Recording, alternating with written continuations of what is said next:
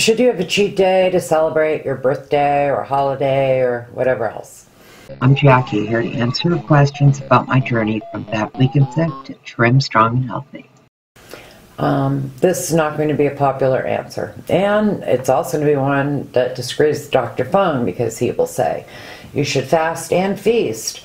However, I did enough feasting already. I spent plenty of decades feasting. Um, and due to my, as an ex diabetic or someone who has reversed their diabetes and is in remission, I don't want to go back. Um, there are times I will eat more, I will change plans, I can pick a restaurant, look at the menu online, decide what I can eat before I go. Um, I can go somewhere already, like to a party or a wedding, already full and not have to worry about it.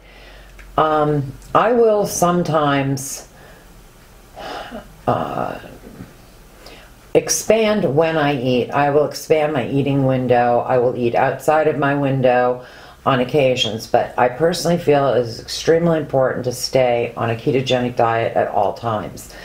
My body does not handle carbohydrate well. It just doesn't.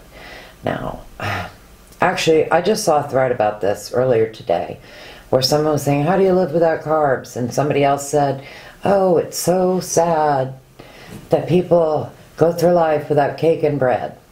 I'll tell you what is sad. What is sad is having cake and bread and no life. I couldn't move.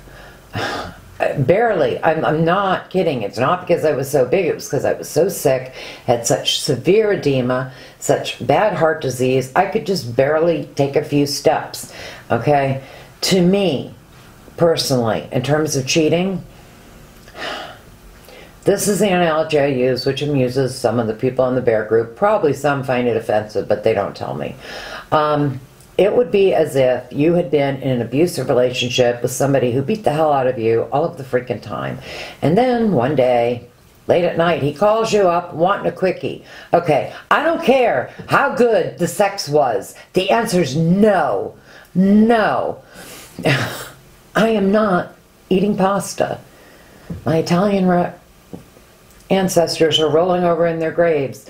And the other half of my family is rolling over because I'm not only am I not eating pasta, I'm not eating bread or potatoes either. Not ever again. Anna puts it pretty well, my friend Anna, in what she says, which is you may have loved the carbs, but they didn't love you back. If you're going to plan on going back to eating carbs, you're going to be diabetic again. Now, it was fasting that changed things for me. I did ketogenic dieting before. I did it before, but I used to think that psychologically it was better for me to have one day a month when I could cheat. And I did that. Um, I did that for years. Um, if I ate badly all day, then my blood sugar wouldn't go back down for three or four days. But if I ate badly just one day, this was before I was ever on insulin. If I ate badly just one meal instead of a whole day, it would be back down to a good number in about a day. So I let myself do that. I'd say, oh, I'm going here for Christmas. I'll eat whatever I want. Oh, I'm going here for someone's birthday. I'll eat whatever I want. I thought that if instead of saying no, I just postponed it, this is not the day, you know, I can have anything I want on that day, one day a month. Yeah, I kept doing that and I wound up on insulin. So, no, I don't think, uh, well, I can't do that. Maybe you can.